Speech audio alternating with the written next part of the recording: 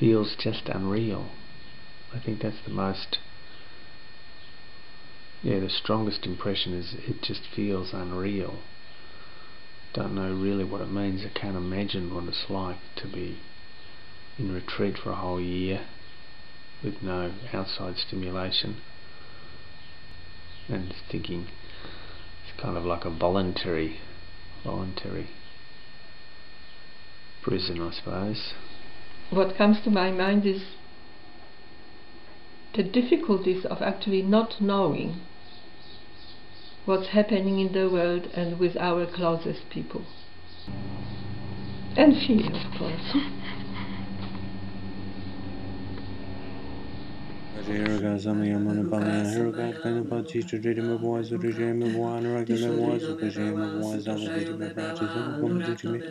with Shrim Kuru Hung Ha Ha Ha Ha Ho Kuru Hung Ha Ha Ha Ho Muncha I find it great that we are doing it together. That's an enormous support and um, and the and the possibility of talking about what's happening in the practice. Sometimes it's uh, it's very valuable.